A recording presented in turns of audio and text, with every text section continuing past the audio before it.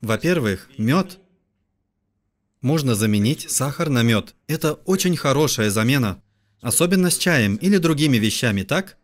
Можете принимать немного меда каждое утро.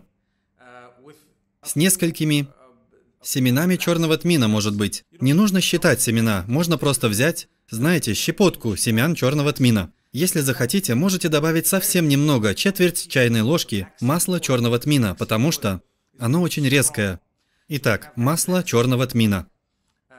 Можете смешать его с медом и принять, налить это в ложку и выпить. Чайную ложку будет достаточно. Можете выпить это утром. Мед очень, очень важен. Добавьте его в свое питание по воле Аллаха. Вы даже можете иногда втирать его на определенные места. Возможно, если вы поранились, и тогда у него другое действие, как антисептик. У меда есть и такие качества.